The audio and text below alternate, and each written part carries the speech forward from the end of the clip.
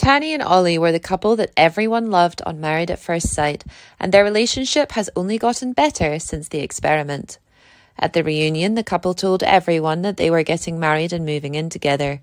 They also told each other, I love you. On 9 Now, you can watch every episode of Married at First Sight for free. In an exclusive interview with Nine Entertainment, Tahnee and Ollie were happy to say that they had already made the big move, and Ollie was even happier to say that they weren't living in Tahnee's tiny Bondi studio apartment. Tahnee made a joke, We're not in the studio anymore because everyone had something to say about where I was living. Ollie moved from Perth to Sydney so he could be with Tahnee. He said it's been hard to get used to life on the East Coast. New South Wales is intense, which I don't think I love, he said. I keep telling Tahnee that everyone seems to be 10 minutes late, but in Perth, everyone acts like they have 20 minutes to spare. But it's not all bad news.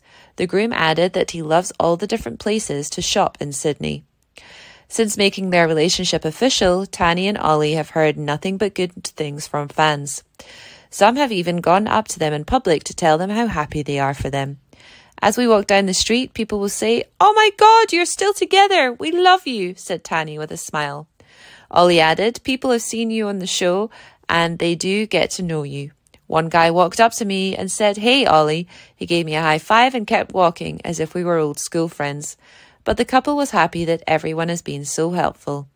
Even though most of their time in the experiment went well, Ollie had trouble with one task watching a video of his wedding day. The groom cringed as he watched videos of his wedding to Tahnee. This was a very real moment. He laughed and said it was the most painful thing. But by the time they watched their movie Final Vows, Ollie was used to being on the big screen.